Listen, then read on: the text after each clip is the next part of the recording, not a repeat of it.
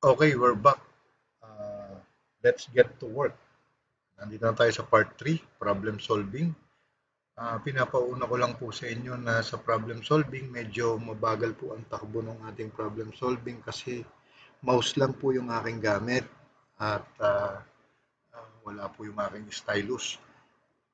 Ngayon, ang isang uh, positive side nito, parang nai-slow motion po natin yung uh, pag-execute ng uh, problem solving, mas may internalize ng ating viewers. Nevertheless, kung kayo ay uh, medyo nababagalan na inip, you can always uh, uh, pass forward the video. Okay? And I hope uh, this will uh, help dun sa ating mga estudyante. No? Let's get to work. Okay, we are now going to continue and move on to part 3 of our uh, video presentation on work. So, napag-usapan na natin yung mga formulas at napag-usapan na natin yung dot product last time. So, uh, uh, marunong na tayong kumuha ng dot product using Caltech at using uh, conventional method. Ngayon, may isang uh, formula dito sa may isang formula dito sa work na ang sabi raw sa dot product if we are having uh, two vectors say for example we have vector A going in this direction so this is vector A and we have another vector which is vector B, which is going in this direction. And we have an angle of theta okay, between them. And we want to get the angle between two vectors. Uh, binigyan tayo ng formula. Ang formula daw dyan ay uh, for example, A dot B is equal to the magnitude of A multiplied by the magnitude of B cosine of theta. Okay. Cosine theta. Let us, uh, there we go. This will be cosine theta. Uh, A dot B, the dot product, is equal to A times B cosine of theta. So, anong ibig sabihin? Once na nag-get natin, na nag-gets na natin yung dot product niya, we can get the value of theta which is the angle between them to be theta as A dot B, the dot product of A and B over the magnitude of A times the magnitude of B. And there's a cosine here. So ang mangyayari dyan will be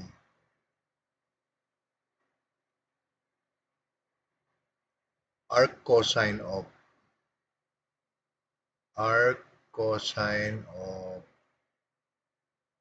this whole thing. There you go. That will be your angle theta. Okay. So, ganyan po ang pagkuha ng theta between uh, two vectors, vector A and vector B.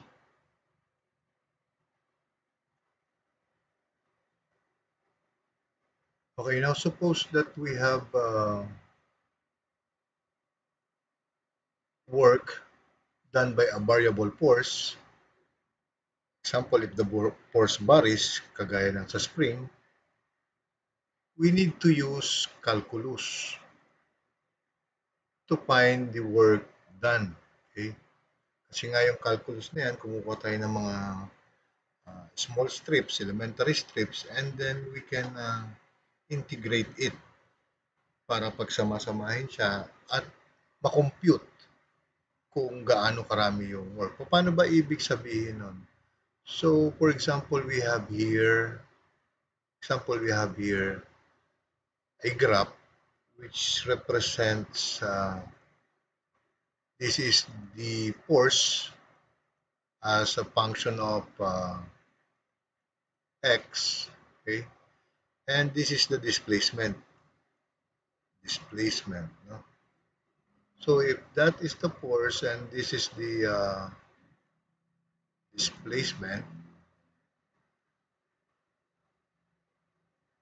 okay let us say we have it from A somewhere here to uh, to B and the force is not constant. Nung una kasi, yung mga pinag-uusapan natin, it is a constant force, diretso lang siya, and the displacement, for example, the force is here, and the displacement will just be like this. So, nagiging rectangular yung area. Pardon my drawing, no?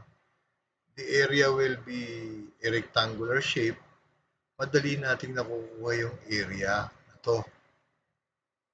It is, sabi natin, the force multiplied by the displacement D. Okay? So, if this is the displacement and this is the force, yung work, yun yun. Pero what if we have a varying force, okay? So, sometimes we are uh, we are compelled to uh, do, do this or we have encountered a problem and the force is uh, not constant. For example, pag ganito, ano? For example, pag ganito yung mga force natin, hindi constant. So, ang mangyayari dyan, we are going to get elementary strips as what we have learned in our in our calculus and then we sum up those elementary strips from A to B no from A to B. So, ang magiging formula daw natin is this one. W is equal to f of x, meaning to say f as a function of x, uh, dx. That is actually the integral of f of x dx from a to b.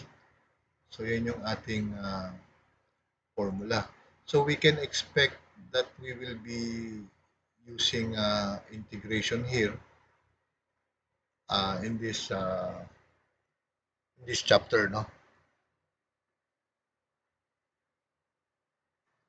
Since nandiyan na tayo sa work done by a varying force, ang mga perfect example nito yung uh, force on springs, no?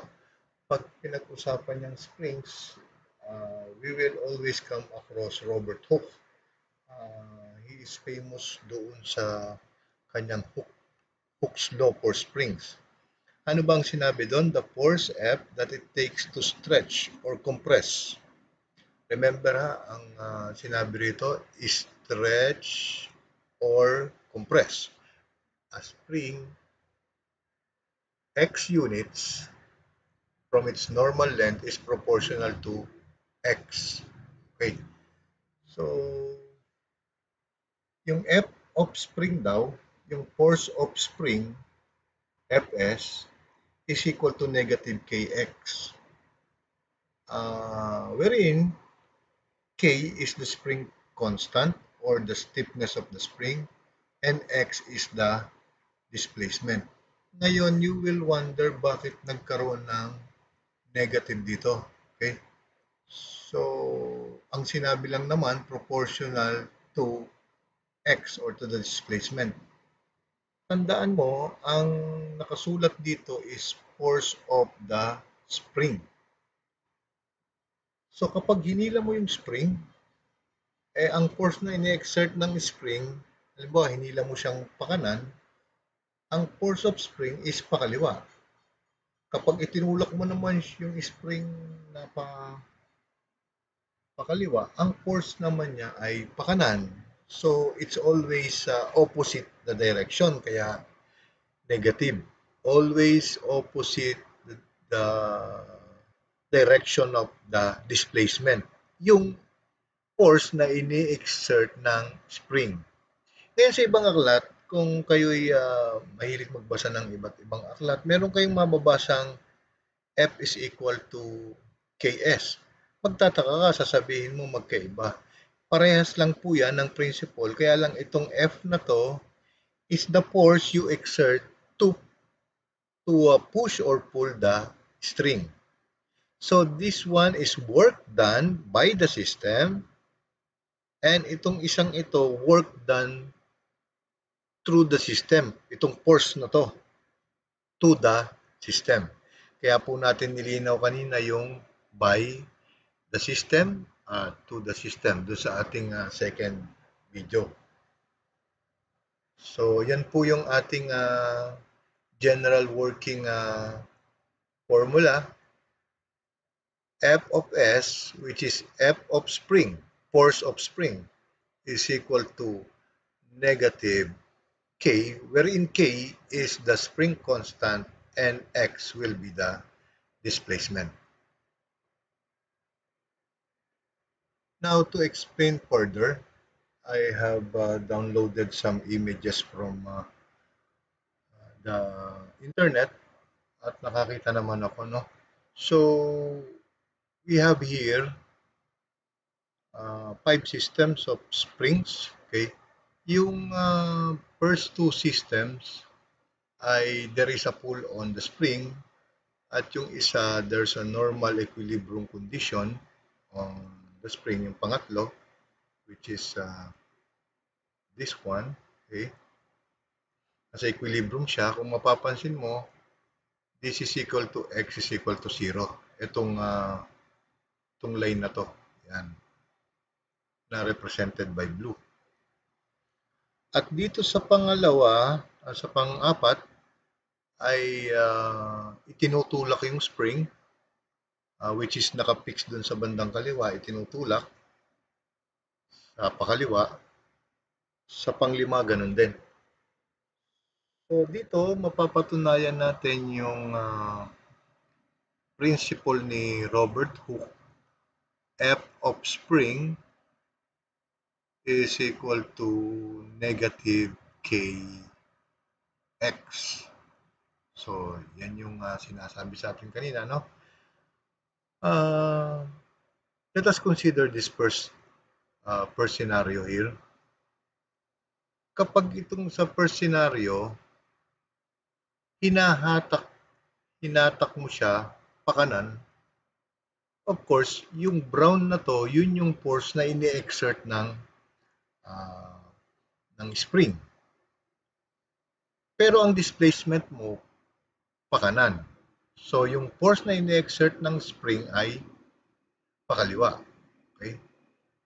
Now, notice kung gaano kalaki yung uh, kung gaano kalaki yung force ng inihila mo, ganin din kalaki yung force na uh, ini-exert ng spring. Kung sinobrahan mong hila mo dyan, kung halimbawa kinabitan mo ng isang mechanical na bagay, kinabit mo sa sasakyan, eh sobrang uh, laki ng uh, pulling force, maaring itong spring na ito ay mapatid kasi hindi niya nakakayanin yung force na i-exert niya doon sa system para uh, magkaroon ng uh, rebound force ano so dito sa pangalawa ipinakita din lang sa atin na kung maliit lang yung maliit lang yung force na inihila mo maliit lang din yung force ng spring na binibigay niya So, dito naman sa pangatlo, wherein we do not apply any force, normally, x is equal to 0 lang, no?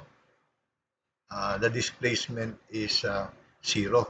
Walang force na nagaganap and then na ibinibigay yung spring, wala rin tayong force na uh, pull or push doon sa spring na ini-exert sa kanya. Dito naman sa pang-apat na case, kapag itinulak mo na pakaliwa yung spring, edi magko-compress siya, no? Ang force naman na ibinibigay ng spring ay patulak, pakanan. Kasi merong uh, meron lagi yang uh, uh, resisting force yung ating uh, spring. So upon knowing the forces that was done to the system and by the system, uh, we can now uh, have the formula for the work done on the spring. W sub S is equal to the integral of negative kx dx. So I guess by now we are very much ready to uh, jump in sa pag-solve ng problems.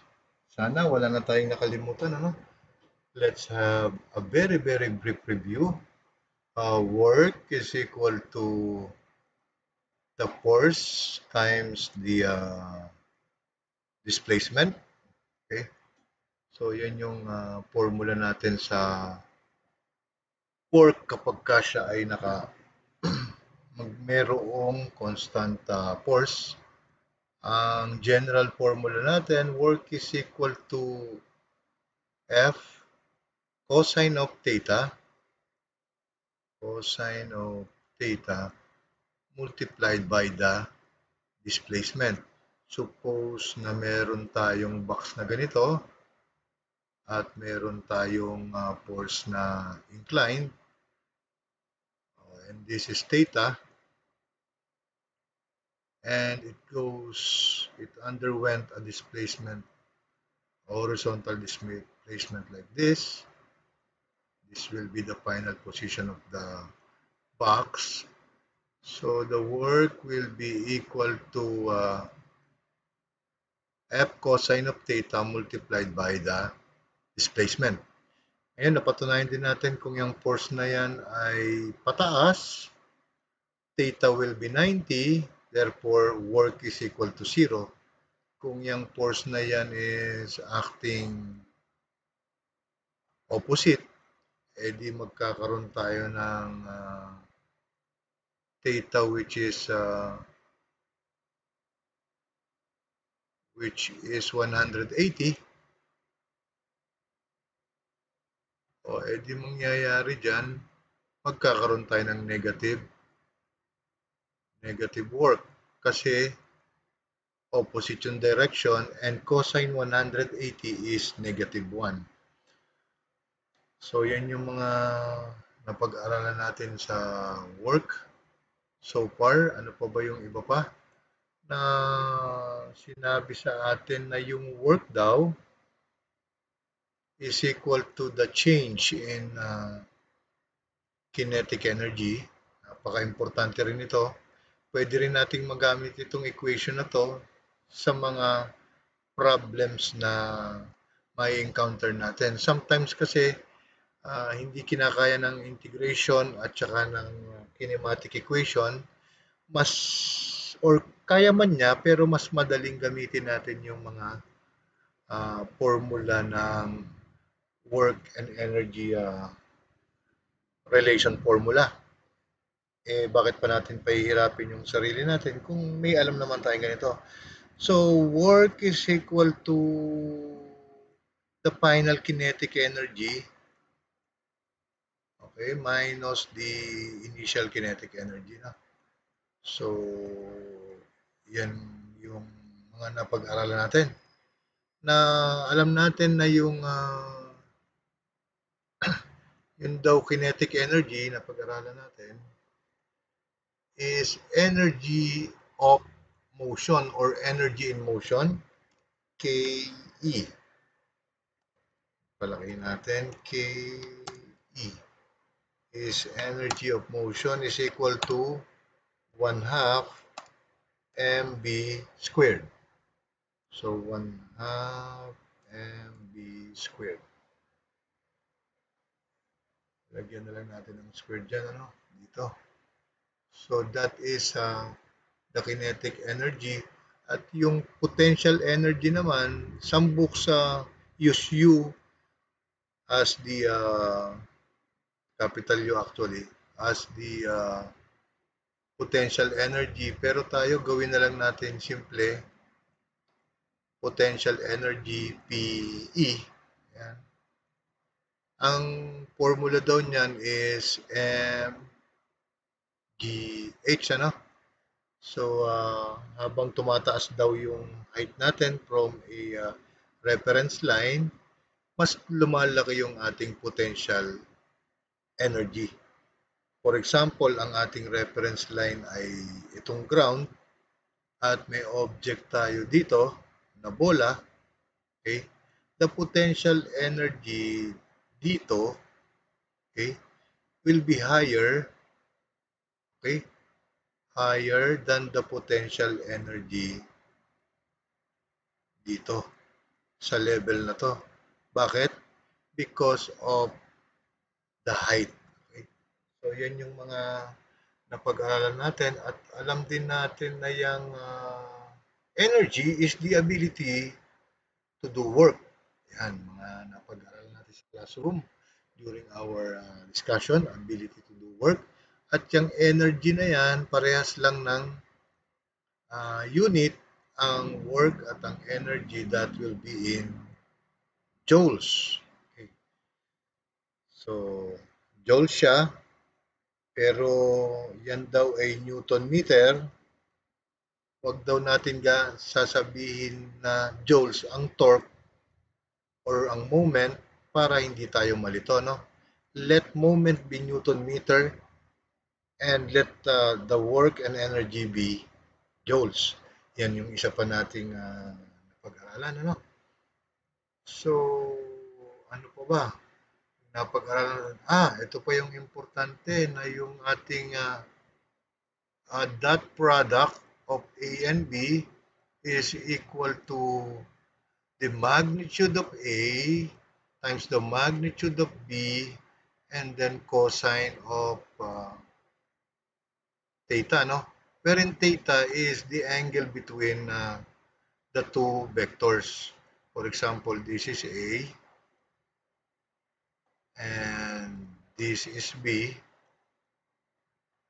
The angle between them, that is the theta. Okay. So, if this is B.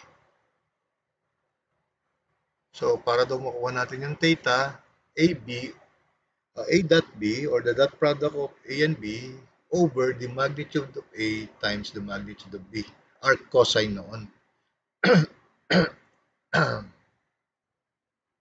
yung uh, work done daw naman by a uh, varying force, uh, let us say, uh, pulay natin dito. The work done by a varying force ay given daw by the equation the integral of the integral of f of x dx. Yan, napag-aralan din natin yan from some uh, final final point from initial point to final point o yung uh, binigay natin kanina or doon sa video ay uh, this will be from A from A to B kung ang graph natin. Anyway, parehas lang naman yan. Basta yung A is the initial point and B is the final point. Or if you want x sub 1 or x sub f, it's just the same. Okay. Tapos sa spring, pagkasya na natin dito, no? bura-bura na lang tayo ng konti rito. Sa spring, meron tayong uh, formula sa spring na ginamit natin yung principle ni Robert Hooke sa force ng exerted by the spring, W is equal to the integral of what? Integral of negative kx dx. No? So, yan naman yung uh, formulas natin uh, sa spring. From initial, and again, from some final uh, point to the initial uh, point. Uh, mapapatunayan natin na uh, nagsasum up siya because of the uh, restoring force. Pag binitawan mo naman kasi yung spring, hindi naman siya titigil din agad. No? As, as discussed in our classroom, we have uh, the restoring force of the spring. So this is uh, this is all that we have done or we have tackled so far in the two videos, ano? So, isa, dalawa, tatlo, and then apat, lima. Napakarami pala ng uh, conceptualization dito sa work. Uh, that is why uh, pinili ko nga magkaroon ng video nito para kahit na ulit-ulitin ninyo, madali ninyong marirecall. At uh, ito naman yung energy. So, ang energy natin, we have the potential energy and the uh, kinetic energy. Yung potential energy, mgh, it goes up with the height and 1 half mv squared sa kinetic energy. May isa pang form tayo ng energy. Isama na rin natin dito para baka ma-encounter natin sa pagsosolve ng uh, work problems. So, yung tinatawag nating mechanical energy. Ano naman tong mechanical energy to? O edi yan daw ay yan yung sum ng kinetic energy at ng potential energy U. Okay? Oh, nga pala, wag U ang gamitin natin. Gamitin natin para madali ng kabisaduhin potential energy. So I hope with this, the, the conceptualization is already done. The underlying principles has already been laid and uh, we just play uh, whatever is in on the table. Uh, i-apply na lang natin to pag uh, solve natin ng problems. So without further ado, let us uh, solve uh, let us solve some problems involving work. Okay, let us have this uh, example number one on work. A spring has a natural uh, length of 1 meter. A force of 25 newtons stretches the spring by one-fourth of a meter. Determine how much work is done by stretching the spring. Letter A, 2 meters beyond the natural length. And letter B, from a length of 1.5 meters to 2.5 meters. Okay. Now, I try to get some uh, pictures in the uh, internet, nakakita naman tayo na mag illustrate dun sa problem. Ano? For example, we have this uh, illustration below. Meron daw tayong spring na ang length niya ay 1 meter. From here to here, 1 meter daw yung length ng spring. Pasensya na, medyo hindi uh, hindi ko measurate yung nakita kong uh, yung nakita kong image for illustration. Anyways, uh, this will uh, this will do. Ang importante naman, ma-illustrate natin yung problem. Okay? So, 1 meter daw siya from here to here. Ngayon, binatak daw siya. Okay? Ng 25 Newton uh, it is uh, stretched by a 25 Newton force. Okay? So, hinila siya. Gawin natin white. Hinila siya ng puwersang ito magmula dito. Hinila siyang paganyan. Okay. By a force that is equivalent to 25 newtons. Okay. Ngayon, syempre, after hilahin siya, magkakaroon siya ng displacement somewhere here. Okay. Yan. Yan daw yung magiging displacement niya, which is x. So, determine the work done by stretching the spring. Ngayon, ang uh, problema natin, wala tayong binigay na spring constant na K. Pero alam naman natin na yung force okay, is equal to Kx. Diba? O, linawin muna natin nga pala to. A spring has a, has a natural length of 1 meter. A force of 25 newton stretches the spring by one-fourth of a distance. Ang tinatanong, work done by stretching the spring. You can pause the video. Okay? You can pause this video and analyze. Ano ba yung work na tinatanong? Work done by the spring or work done by this force uh, to the spring? So you can pause the video and analyze. Okay. So, uh, tama ang inyong uh, naisip. It is the work done to the spring. The work done by this force to this spring. So, we have in this case, F is equal to Kx. Ngayon, given yung F natin, which is 25 newtons, let us say the force is in 25 is in blue 25 newtons. Okay. Tapos yung K natin, which is the unknown, at yung X natin, sabihin natin green. Okay.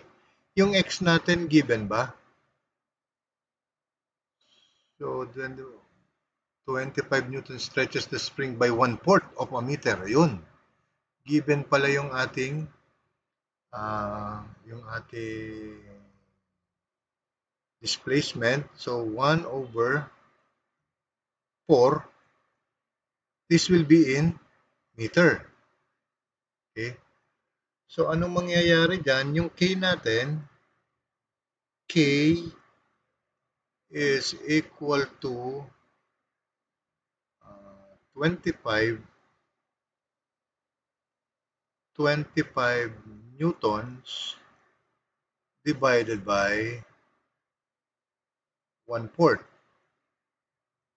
And this will be in meter. so therefore, this one goes up there and will be multiplied by 25. Ang mangyayari dyan, 100 Newton per meter. So there you have it. We have the K now. So we will now, we are now uh, ready to uh, ready to integrate this one kasi meron na tayong uh, meron na tayong K which is 100 Newton meter. Ngayon ang tanong, ano ba gagamitin natin dito? Uh, pwede ba natin gamitin yung uh, formula natin na uh, work is equal to or sorry work is equal to the integral of uh, negative kx dx okay, from some uh, initial point to the final point. So your answer is as good as mine. hindi po natin pwedeng gamitin ito. Hindi palibas at spring ito. Yun yung ano natin, eh, yun yung uh, nagpahirap sa ganitong kasimpleng tanong. Akala mo spring yan, gagamitin mo agad negative kx dx.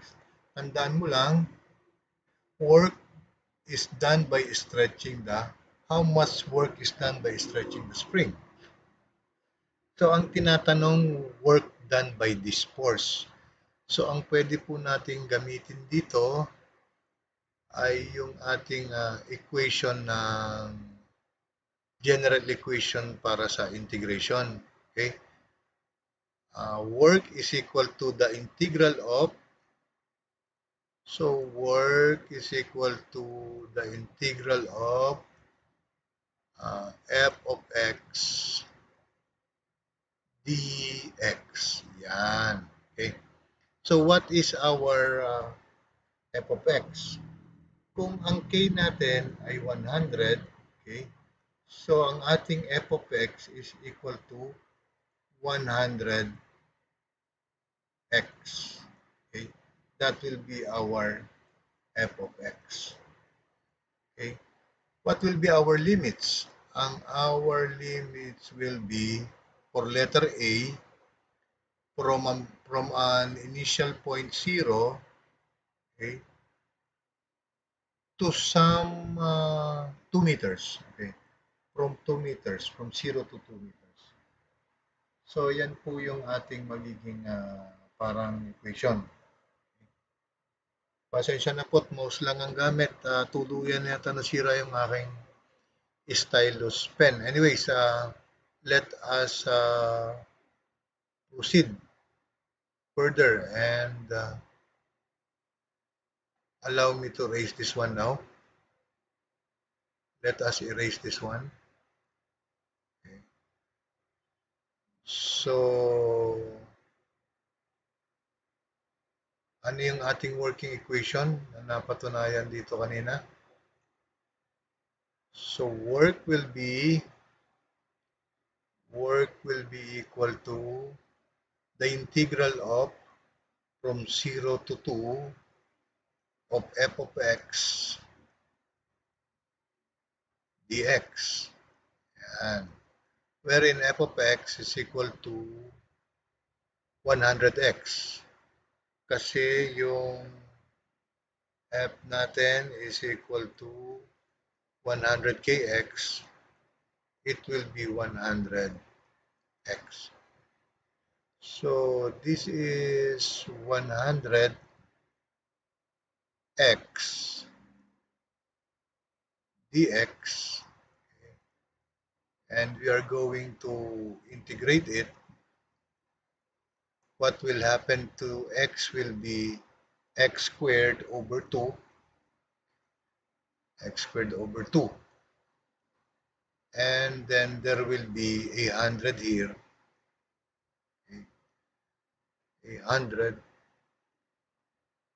pagandahin natin yung ating sulat no? There will be a 100 here over 2 and uh, na-integrate na natin no?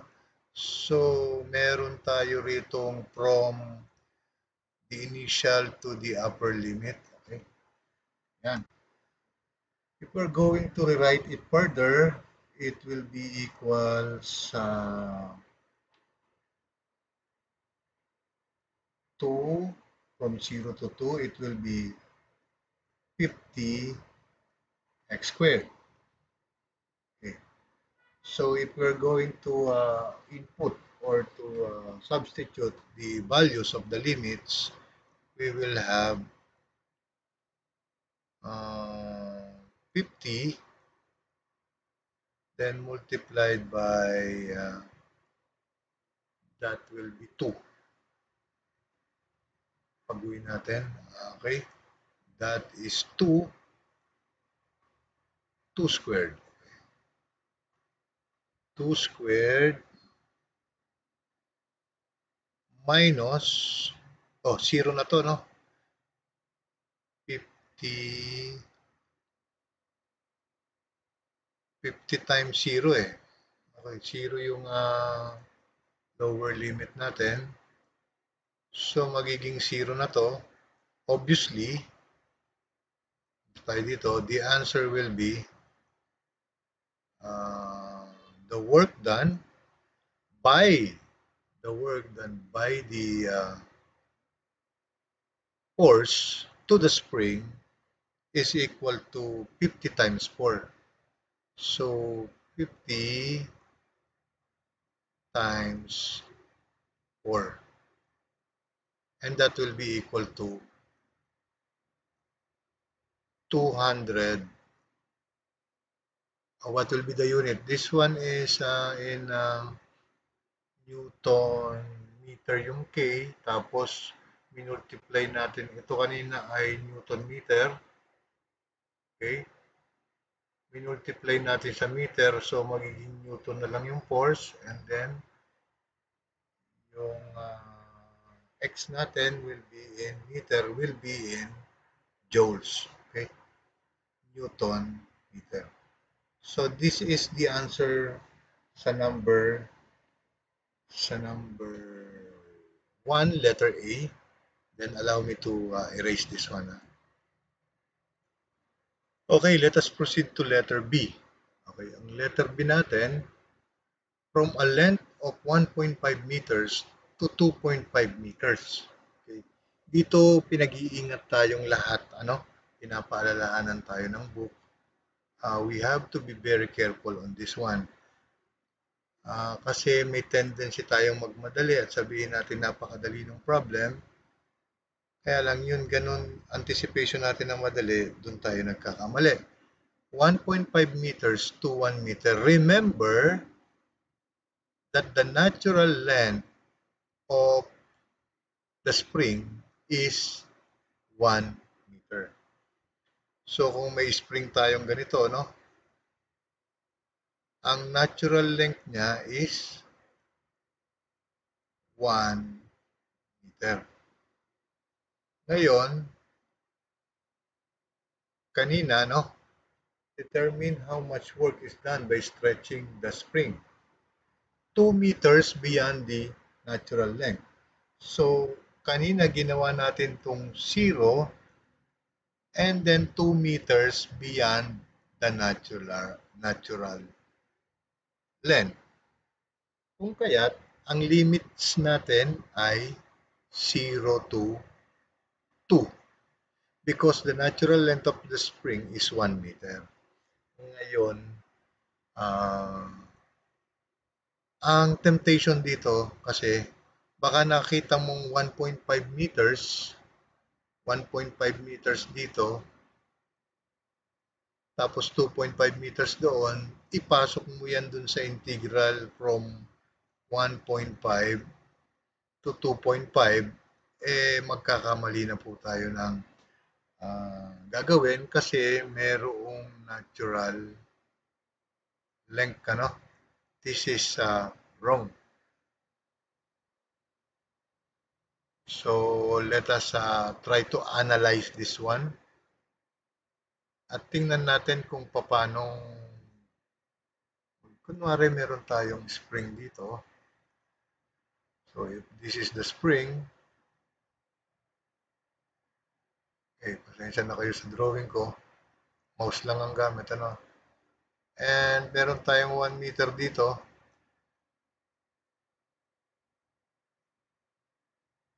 Uh, ihilahin daw siya from a length of 1.5 meters. So, para maging 1.5 meters to, ano idadagdag natin dito? So, 0.5, no? 2.5 meters. Okay. To 2.5 2.5 meters. So, para maging 2.5 meters to, ano idadagdag natin? Para maging 2.5 meters naman itong isang to, baguhin natin yung kulay, no? Itong isang to, para maging 2.5, dadagdagan natin siya ng, itong 1 meter na to, dadagdagan natin ng 1.5 meters. So yun, basically, na-solve na natin yung problem. The rest, integration na lang. Ah, yun lang naman ang mahirap dito yung ah, pag-analyze. Pero kung iisipin mo, napakadali. Ano? Unang-una, nung una, natetempt tayong gamitin yung baka matempt tayong gamitin yung W is equal to uh, the integral of negative k sub x dx kasi nga spring siya. Eh, hindi nga yun dahil this is the work done to the system, not by the system or not by the spring. Pangalawa, baka matempt tayong ipasok to. So, ang magiging limits natin ngayon dito, ano nga? Okay. Tama yung nasa isip ninyo. It will be from 0.5, kasi 1.5 yan, from 0.5 from the natural length to 1.5. So, the rest is integral na lang. Sabihin natin na brown naman tayo.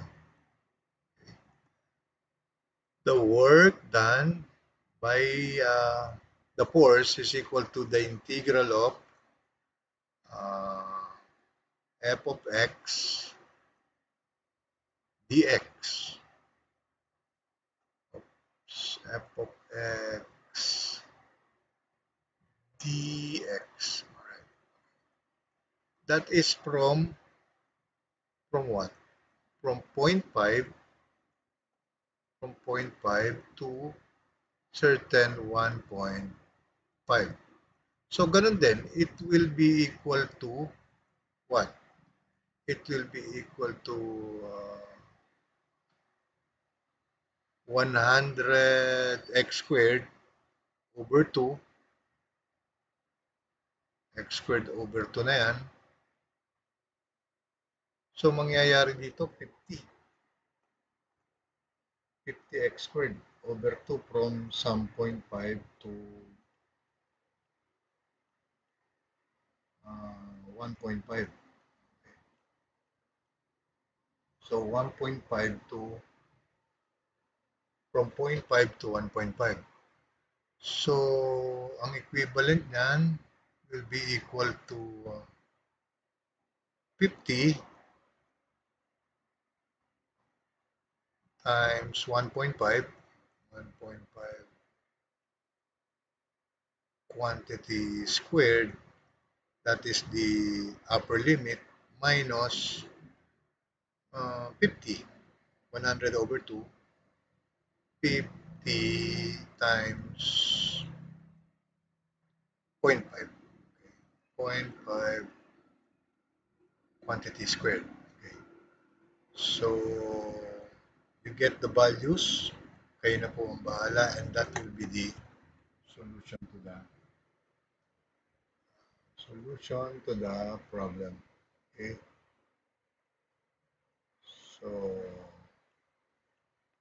yan. That is how uh, we are going to analyze problems. Tandaan ninyo, uh, yung mga terms and phrases, work done by the system, to the system, at syempre, hindi palibas at nakita natin na spring ay yun na ang gagamitin natin. Ano? Ito po ay work done by the spring. Ito naman po ay work done by the force to the uh, spring. I hope this will help and we will move on to our next uh, problem. Allow me to erase now. Okay, we have here another problem which reads a 70 uh, Newton force is applied horizontally to a 10 kilogram block at rest for a displacement of uh, 200 meters across a frictionless surface. So for now, there will be no effects of surface. The question is, how much work is done by the force? Letter B, what is the final kinetic energy? Letter C, how fast is the block moving at this juncture at 200 meters? And letter D, what is the acceleration of the block? Letter E, we are asked to use kinematics to calculate the final speed of the block. So first off, let us have some uh, illustration. Let us say, for example, that we have this uh, frictionless surface, which is uh, horizontal frictionless surface. Just uh, take that as for example. And we have here a uh, block. Okay. So that block is having that is actually having a mass of 10 kilograms 10 kilogram mass of that block. That is at rest. Kapag ka sinabing at rest, our uh, initial velocity v sub i is equal to 0. Okay. So that is at rest. We're trying to uh, do the FBD there is a 70 uh, Newton force applied horizontally. So let us say that there is a force that was applied horizontally. So let us try to uh, rotate this one. So let us try to undo. Okay. Uh, there is a force that is applied horizontally on that uh,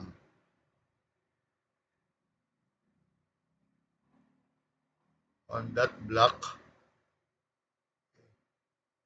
Let's say, for example, this is the force, the 70 Newton force that is uh, applied horizontally in that block. So, sulat na lang natin, ano? Sulat, sulat na lang, 70 Newton. And this is a frictionless surface.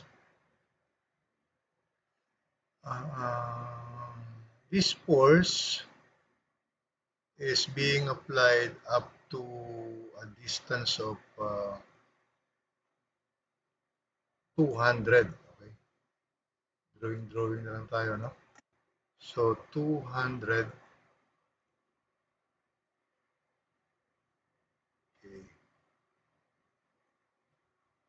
So ang displacement niya will be 200 meters going in this direction. Okay. So notice that uh, we have a constant force here that is being applied up to this point. Okay, up to this point, 200 meters. Okay.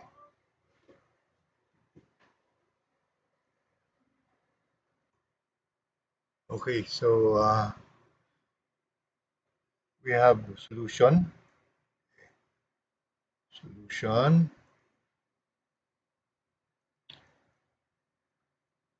Ang case na ito ay uh, we have some uh, parallel force and we have what type of work? The work is uh, the force will be uh, in the same direction as the displacement. So we can expect a positive work done here to the system. So let us uh, have our uh, equation. If we have a constant force, work is equal to what? That is F cosine of theta multiplied by the displacement. So we know F cosine of theta is 0 and the displacement is 200. So therefore, the work done is equal to the force which is 70 and then cosine of 0 because that is parallel force to the displacement multiplied by 200 meters. Okay, So this is in meters. This one is in uh, newtons and this one is zero. This one is actually cosine of zero is one. Therefore, we have the work. Let's try to, uh, we have here the work equals uh, 70 multiplied by 200 and that will be in Newton uh, meters. Let me grab the calculator first.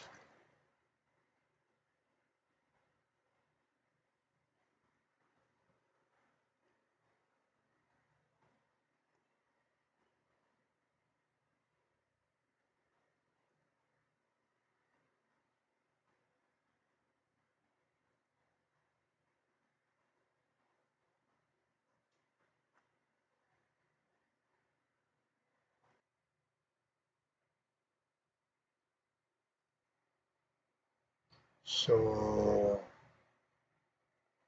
what we will have here is joules, and that's 14,000. Now, uh, letter, uh, we go to letter, this is letter A. We go now to letter B. What is the final kinetic energy? Okay. Blue naman ang gamitin natin sa letter B. Letter B will be what is kinetic energy. Ang work daw is equal to the change in kinetic energy. Kinetic energy final minus the kinetic energy initial ano. So, yan yung ating uh, equation na napatunayan nung tayo ay nag-conceptualize. So, notice that the initial kinetic energy is what? The block is at rest. Meaning to say, there is no movement on in this point. Therefore, the kinetic energy is equal to zero. Therefore, uh, ayusin natin to Therefore, the network here is equal to the final kinetic energy. Okay. Final kinetic energy. So what is the network? The network is 1,000, uh, 14,000 joules. So the final kinetic energy will be equal to the net uh, work which is 14,000 joules. Okay. So we are done with uh, we are done with uh, letter B and in uh, Letter C. Uh, let us create some space. Let us see if we have some more space here. Okay. So, dito na lang natin ilagay yung letter C. Letter C, let us have some violet in letter C. What is, how fast is the block moving at this point? So, alam natin yung kinetic energy at this point is equal to 1 half 1 half uh, mb squared. Okay. We have here m b squared. Ngayon, ang kinetic energy natin ay uh, ah, 14,000 joules. So, 14,000. That is in Newton uh, meter. Allow me to use Newton meter first para madali natin makancel, ano? And then this will be uh, multiplied by 2. Kung makikita mo sa equation, ayan o. Kasi yung 1 half pupunta ron. And then divided by the mass. What is the mass? The mass is 10 kilograms. 10 kilograms. Okay. So Newton is kilogram meter per second squared. So ito is kilogram meter per second squared. Makakancel man yung uh, kilogram. Mangyayari dyan meter squared sec meter squared per second squared. So ang natira sa kabilang equation ay b squared if we're going to extract the uh, square root of both sides here, let us extract the square root. Therefore, tangga tatanggalin na natin itong uh, b squared dito. Okay? So, that will be the uh, that will be the equation. Ang matitira sa atin, meter squared per second squared and we are extracting the square root. So, meter per second squared. Tingnan natin ang ating uh, kakalabasan. 14,000 multiplied by uh, multiplied by 2 tapos divide natin sa 10 we have 2,800 and we're going to extract the uh, square root. Let us see where is the square root of this one. Uh, ito, square root. Okay. So we have 52.915.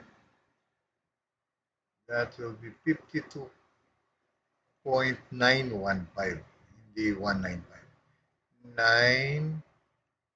915. Okay. So that is the uh,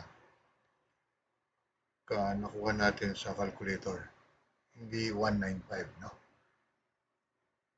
Okay, allow me to uh, pause the video and erase it.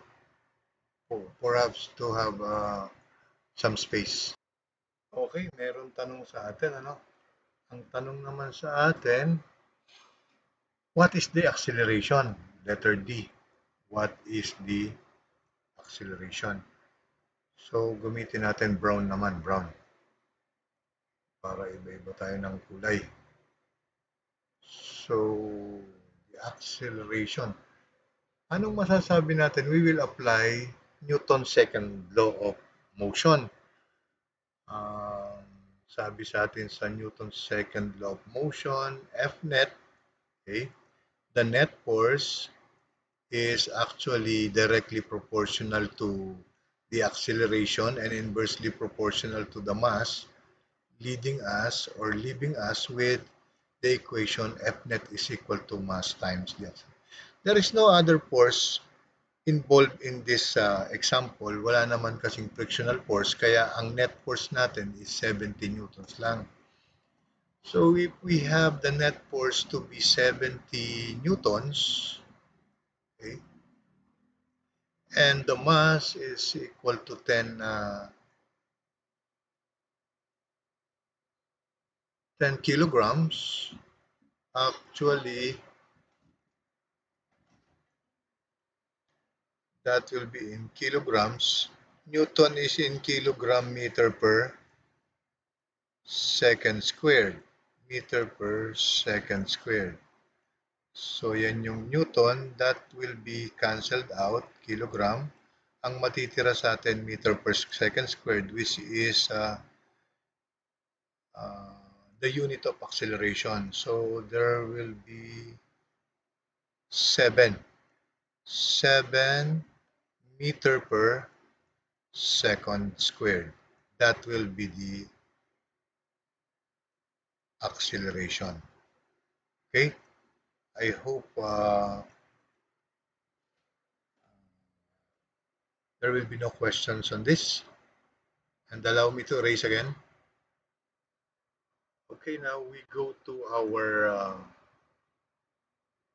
letter E. So letter E, let us use uh, block na lang, block. E. Use kinematics to calculate the final speed.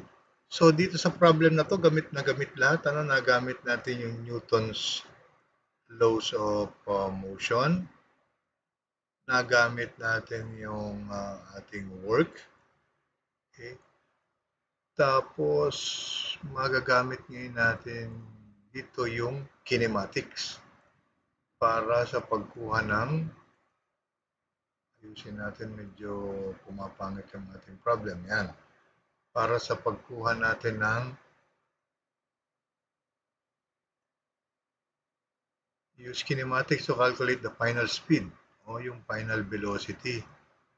Okay. So, anong kinematic equation? Tatlo yun eh, no? So, involving, meron tayo ay D.